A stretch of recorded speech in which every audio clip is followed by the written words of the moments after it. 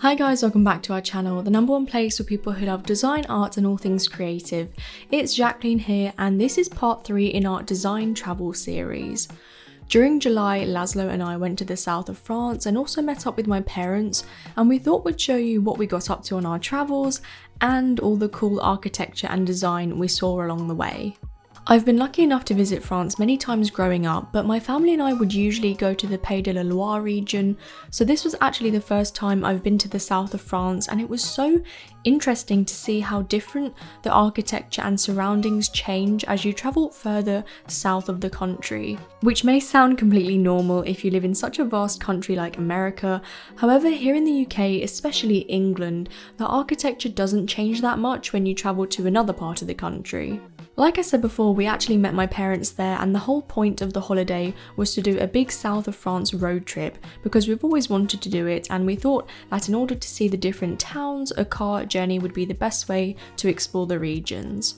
So our French journey started in the famous region of Provence, which is actually divided into six departments. We started off in the Alpes Maritimes and Var area, which includes the glamorous French Riviera then travelled north to explore the valleys of the Alps in the Alpes de Haute-Provence district, next travelled down to the Bouches-du-Rhône to explore the quintessential Provençal town of Aix, and finally moved north out of Provence towards the southwest ending up in the medieval Dordogne department. From London, it was a two hour flight to Nice airport, which was very quick, and because it was an evening flight, we planned to start exploring the region the next morning. If you're thinking of travelling there, just know that there are many towns to visit in Provence and also in the French Riviera. We even stopped in Italy for a pizza because it was so close, and I think it's definitely worth travelling to these towns because they all have their own unique attractions and architecture. But we had no idea just how many small towns were worth visiting, and our host actually recommended specific towns that we hadn't even heard of before. So make sure to leave room in your itinerary for those places whilst on your visit because they are truly beautiful. Provence is located in the southeast of France and is of course known for its glamour along the Côte d'Azur and hilltop Provençal villages that overlook the vast Alps mountain range. Along the French Riviera, the coastline is saturated with first-class hotels, restaurants, chic boutiques, private beaches and luxury houses, mainly in the cities of Nice, Cannes and of course the municipality of Monaco too. This area is extremely chic and glitzy and there's a reason it's renowned for being a second home to movie stars. However, the rusticity of the region becomes clear when driving amongst the golden olive groves in the hills and exploring countryside towns. In particular, we loved the Fréjus and Saint-Raphael area because of the Massif de l'Esterel mountain range, famous for its rugged red rocks. It was just a really beautiful place and the towns were less flashy than the others along the Riviera, so it kind of gives you a taste of both the glamorous and rustic sides of the region.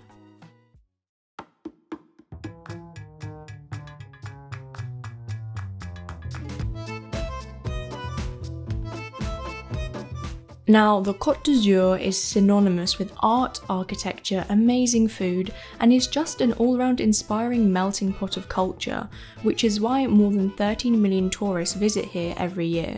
Whilst we were in the Côte d'Azur, I was surprised at how different the towns we visited were from one another.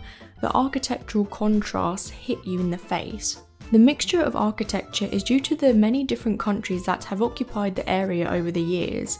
Provence was inhabited by Ligure since Neolithic times, by the Celtic since about 900 BC, and the Greek colonists since about 600 BC. It was conquered by Rome at the end of the 2nd century BC and became the first Roman province outside of Italy. Provence, thousands of years ago, was part of Roman Gaul, and because of that, the area is filled with Roman remains and colourful pockets of colour specifically the town of Menton, famous for the annual Lemon Festival. For centuries it formed the border between Provence and Genoa, and was actually Italian until the disputed French vote of 1860 when it was added to France.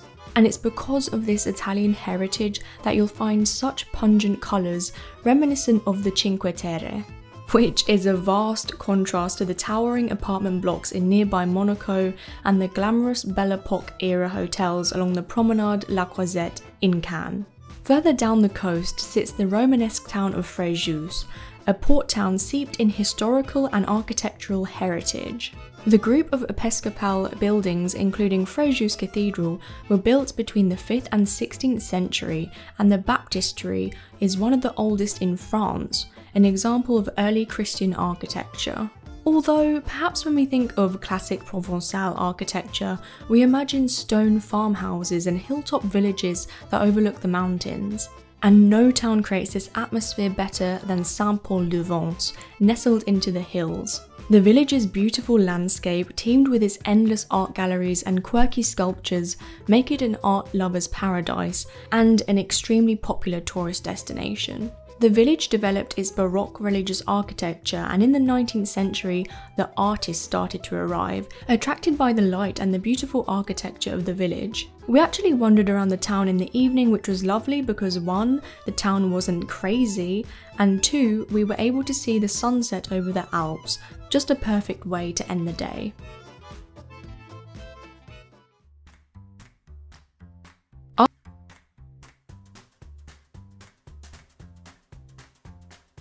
After exploring the French Riviera, our trip progressed west to the historic city of Aix-en-Provence. Known as the home of Impressionist painters Cézanne, the prestigious university, and the hundreds of fountains dotted around the centre, hence Aix is called the City of a Thousand Fountains.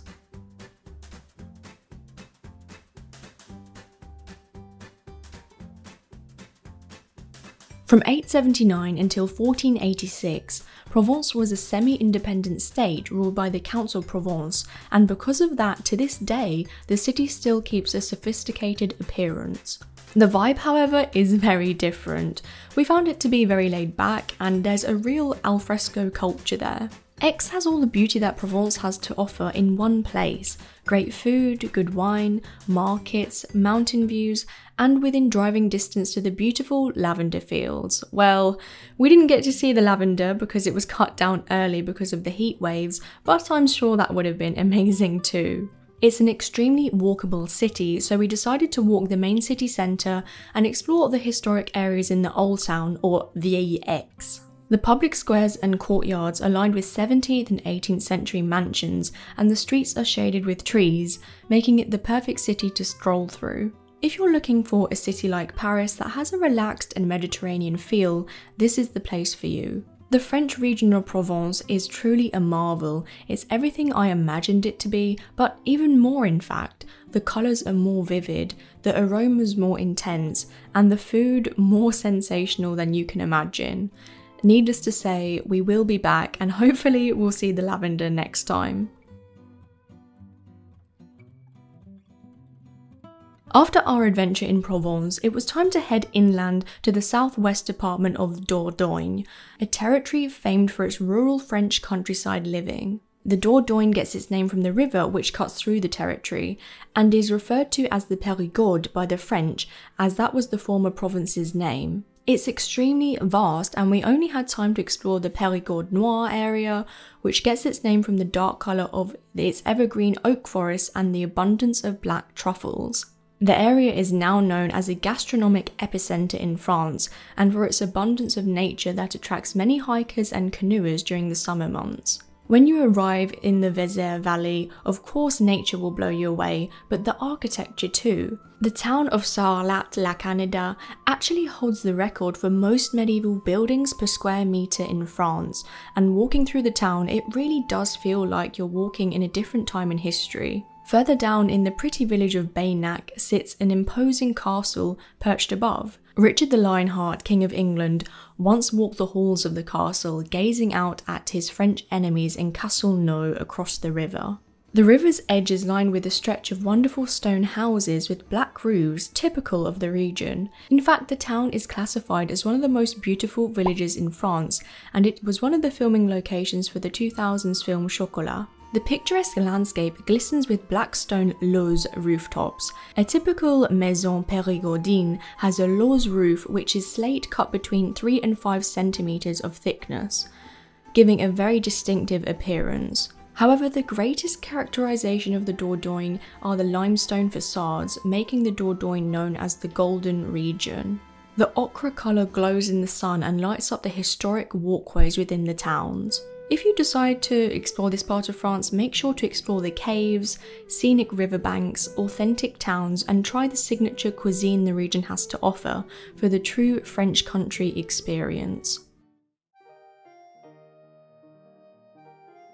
Picasso, Cézanne, Van Gogh, Renoir, Matisse. We could be here all day long, naming the giants of the fine art world who have all came down here at some point during their active years.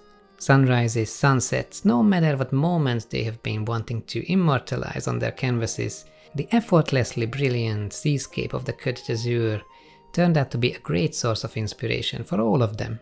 If art history is your kind of thing, there are many places where you can see the countless amounts of artworks these masters have left behind for us to see. Museums, collections, even studios of Van Gogh and Renoir are visitable places in the area. There must definitely be something in the air around this place, as wherever we went we felt like we were surrounded by art and design inspiration, and not just in the aforementioned obvious places. Artisan gift shops, quirky sculptures and hand-painted lettering are sprinkled around these regions' streets, shops and restaurants, all coming together to decorate these picturesque towns. It really gives you the impression that people of all ages genuinely care about the legacy and the power of this place. Whilst we were in Sarlat, we went to Atelier Massot, an art studio run by Jean-François Massot, which was one of the best, if not the best gallery we went to. We definitely recommend you to check his paintings out if you are in the Dordogne. Or if you want more info to buy online, we have left his website and contact information in the description box. In the wrong hands, all this design work could easily come across forced or overly commercialized, but since everything is done so tastefully, and with such care, this definitely is not the case here. There is not one street fountain or church window that feels neglected or out of place. You see real signs of craftsmanship wherever you look, which creates a wonderful sense of harmony between the human-made creations and the natural landscape.